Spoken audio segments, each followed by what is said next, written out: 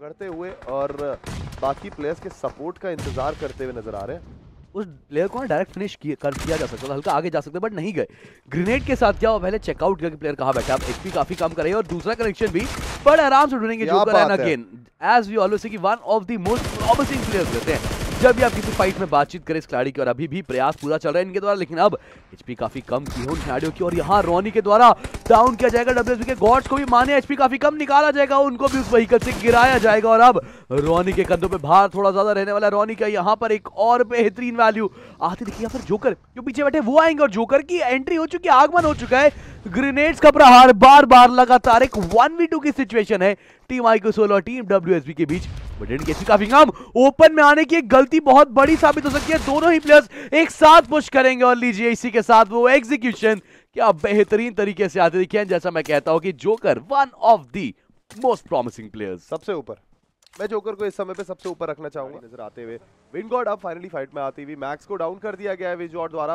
विनगॉड ने ओपनिंग निकाली थी लेकिन रिटालिएशन आया और यहाँ देखिए विनगॉड के खिलाड़ी डाउन है। अभी लोएसपी पे है लेकिन ओरांगुटैन के खिलाड़ी अभी भी स्ट्रॉन्ग नज़र आ रहे हैं।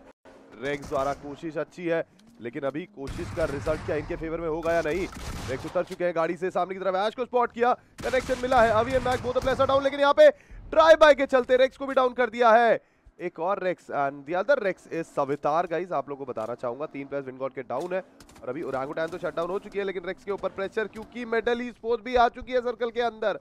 कुछ अच्छी फाइट निकाली विनगॉड ने, चार फिनिशेस आए, लेकिन उसके बाद मेडल गिरेगी बट नहीं यस पावर रिवाइव हो चुके हैं। सुपर पावर गेम में वापस आते आपको यहाँ से दिख रहे हैं और प्रयास किया जाएगा कंफर्मेशन ढूँढने का। तीन फिनिशेस हैं मार्कोस गिंग को पीछे हट चुके लेकिन टीम आईको सोल वो तो चार्जिंग कर ही जा रही। ग्रेनेड्स पे ग्रेनेड चले जा रहे और वो एक ग्रेनेड मान्या के उस एक ग्रेनेड ने दो कनेक्शन ढूंढे। चमकते मारे उनको भी डाउन किया रीपर के द्वारा। ये चल क्या रहा है इस पूरी बैटल के अंदर। रीपर निकलते देखिए बार पीछे तो देखो एक और थे और रीपर बच के इन दोनों ही प्लेयर्स को भेजते हुए पीछे निकल चुके हैं। एक आखिरी खिलाड़ी है रीपर रीपर नहीं मार रहे रीपर नहीं रुक रहे, वो कनेक्शन पे कनेक्शंस अभी भी ढूंढ रहे हैं। और टीम आई को सोल को भी बिखरा रहे हैं, एक और फ्रैग कंफर्म हुआ बट चलिए। अब एक खिलाड़ी टीम एट बिट के एक खिलाड़ी टीम हाइड्रा के और तीन खिलाड़ी टीम आईकू सोल के। ये मुकाबला भी काफ़ी हद तक टीम आईकू सोल निकालने वाली है। आज के दिन का चौथा मुकाबला गाइस हम लोग देख रहे हैं। चिकन डिनर की रेस में टीम आईकू सोल सबसे आगे। रॉनी ग्रेनेड माइटी को कनेक्ट करेंगे।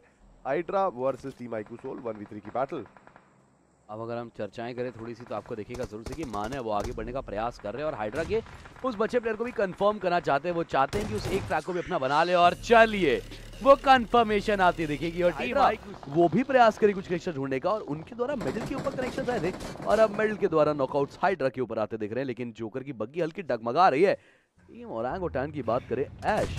ये देखेंगे आपको ज़रूर से।